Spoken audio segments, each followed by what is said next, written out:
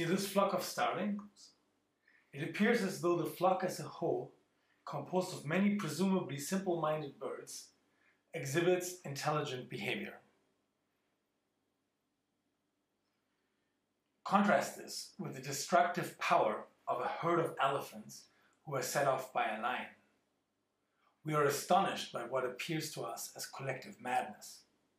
They trample everything in their path and they seem unable to stop. Individually, elephants are some of the most intelligent animals that we know, yet sometimes when set off, collectively they can exhibit madness. These two examples show that in the animal world we can observe both collective intelligence and collective madness. This is of course also true in human societies. the two basic institutions of modern societies are democracies and markets. Both of them have their flaws, of course. But at their best, they collect and synthesize the, collect, the contextual knowledge, the beliefs, and the values of millions of people. In contrast, some human institutions can make the participants collectively mad at times.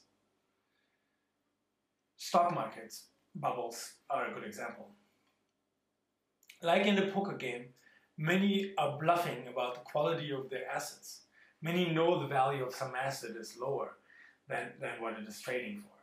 But because the price is going up, they keep buying, which doesn't reflect their knowledge about the true value of the asset.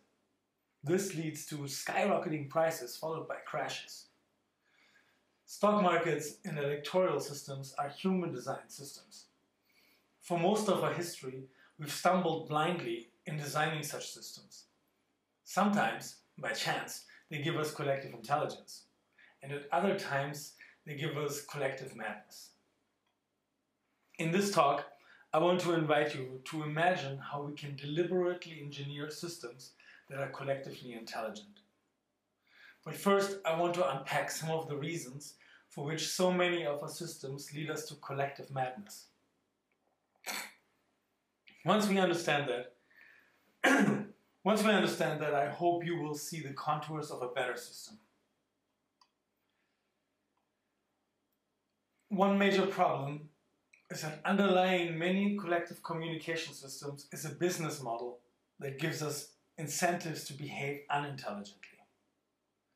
Let us focus on the example of social media. These platforms' business model is to hack our attention and sell it to anyone who funds campaigns. There is no collective purpose to the communication that unfolds. To fulfill their business model, social media companies have optimized algorithms which alter the way we think and communicate. To grab our attention, the algorithms use a few tricks. First, they pigeonhole us into a few discrete categories of people to target. This loses the individuality and nuance of our tastes and opinions. Second, they pander to us by reinforcing what we already feel and believe. Indeed, an MIT study has shown that false information on Twitter spreads six times faster than true information because people have a greater emotional reaction towards fake news.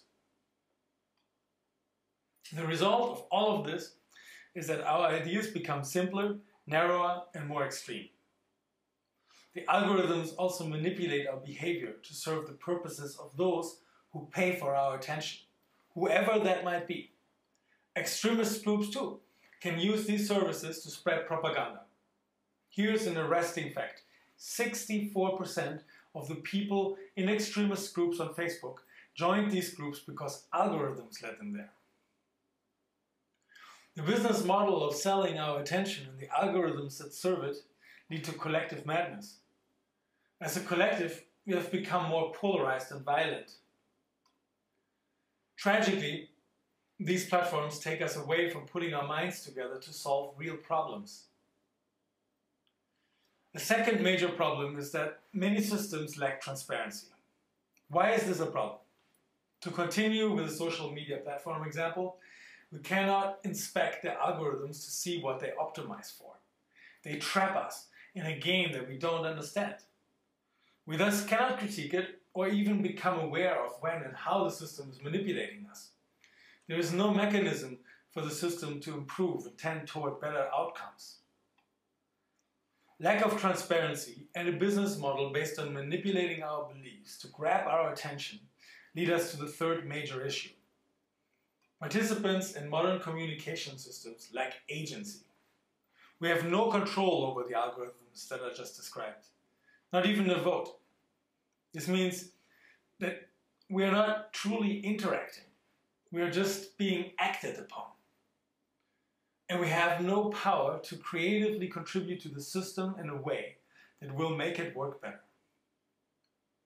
A collective intelligence system should empower users and give them the agency to improve the system to ultimately fulfill a collective purpose. The key role of agency distinguishes collective intelligence from artificial intelligence. The next time you lose a game of chess to an AI, ask it why it plays chess in the first place. It obviously has no purpose, and so it cannot evolve its purpose. A group endowed with collective intelligence, in contrast, knows its own purpose, and every member can actively participate to shape and pursue it. To re recapitulate up to this point, I have pointed out three major flaws with dysfunctional collective communication systems. First, their business models are based on manipulating our minds to give our attention to those who pay. Second, they lack transparency. Third, they do not empower users to improve the system. Now, let's examine two inspiring examples of recent innovations in collective intelligence. The first example I would like to share with you comes from the book Digital Humanitarians by Patrick Meier. This is a deeply inspiring book that tells the story of thousands of people collaborating with innovative online tools to help save lives during natural disasters and prepare communities to better face future ones. One story told in this book is that of crisis maps. Crisis maps are a human technological system that emerged in the aftermath of the January 12, 2010 earthquake that rattled Port-au-Prince in Haiti. It is a map, such as Google Maps or OpenStreetMap, but one that pinpoints areas where people might be trapped under rubble in real time or near real time. It combines the intelligence of volunteers with local on-the-ground information from social media, people calling each other, consulting old maps, and whatever information they can access online or offline. In producing this map, volunteers receive feedback from professional rescue missions as well as victims in near real time as to what features should be prioritized to save the most lives. Everyone and the whole system collectively had the same purpose, to save as many human lives as possible. In this example, people are working together to aggregate lots of information, but they also deliberate, deliberate with each other to find out how this information fits together. The second example is Foldit. Foldit is an online game that leverages the collective intelligence of the gaming community to solve protein folding puzzles. Understanding the structure of proteins is a key step in the treatment of diseases. A protein can fold in a number of ways, as seen in the image on your screen, making this a challenging puzzle even for computers to solve. In fact, the structure uh, for an AIDS-like virus found in monkeys was so challenging to solve that re researchers had been puzzled for this uh, over this problem for 13 years. In 2011, the Foldit community solved it in three weeks. Players knew nothing about protein folding, and they were asked to solve a fun puzzle. They were given a, vi a visual representation of the protein and had to fold it as small as possible using simple tools called wiggle, shake, and rubber bands. Each tool has a different role that affects the protein's shape. Every shape is given a ranking, but only the most compact structures earn the highest scores. High scoring structures have been successfully used to cure complex diseases. The power of the collective in this example comes from the fact that many people experiment with different approaches to the same problem. This illustrates an important point about collective intelligence. Groups of laymen with diverse perspectives and ways of approaching the problem often outperform a small group of experts. If all members sufficiently engage, the collective as a whole often outperforms the most intelligent person in the room. Both Foldit in crisis maps are collective online games, just as fun and socially interactive as social media. Yet, their purpose is transparent to solve an important human problem.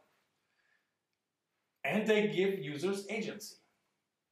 The results are astonishing feats of collective intelligence. The examples I just told you about rely on aggregating information and insights of, uh, about the past or the present state of the world. For many problems, though, we need to map the future. When we drive a car, we don't just look in the rearview mirror. We, of course, look ahead, anticipating obstacles. The future isn't like the past, and especially not if you're trying to impact it. To navigate the future, we need beliefs about how the world works and what is possible to achieve. To navigate the future together, we also need a way of synthesizing all of our beliefs into a collective understanding. I would like to sketch the contours of what I call a collective intelligence game. This is a game that would allow each one of you to lay out your beliefs and insights and then pull all of this intelligence together to map out possible futures. At the heart of the system are two magical ingredients. The first one is a language that allows you to logically express your beliefs about how the world works and what we can do to improve it. For example, if one participant believes that smoking causes cancer, she will draw a causal arrow from the smoking concept to the cancer concept. If she is unsure about the link or thinks it only happens some of the time, she can also assign a probability to this causal arrow. This simple representation then means I believe with some specific probability that if this person smokes daily, she will get cancer. Of course, this is more general. We can design a graphical language in which objects and concepts are nodes in a graph and verbs express relationships between them. These relationships are represented as arrows connecting the nodes. In addition, the language is probabilistic because real world relationships don't operate 100% of the time in the same way, and we are not 100% sure about them. So, verbs are relationships in our language and they are probabilistic. The magic here is uh, that we have a precise but intuitive language to encode and share our beliefs. The second magical ingredient of our system is the prediction market. The prediction market aggregates our individual beliefs into a collective belief. This is best illustrated by another example. Suppose that two people disagree about the probability of rain in London tomorrow. A thinks that the probability is 70% and B thinks this probability is only 30%. A will now sell the following contract to B.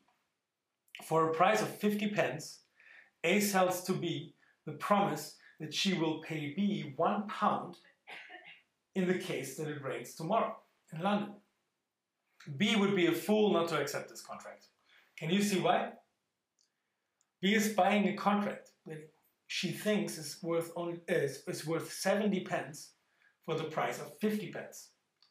A is selling for 50 pence something that she thinks is worth only 30 pence. Given their beliefs, they both gain if they make this trade. The 50 pence price that emerges from this interaction represents an average between A and B's belief. This is the magic of prediction markets.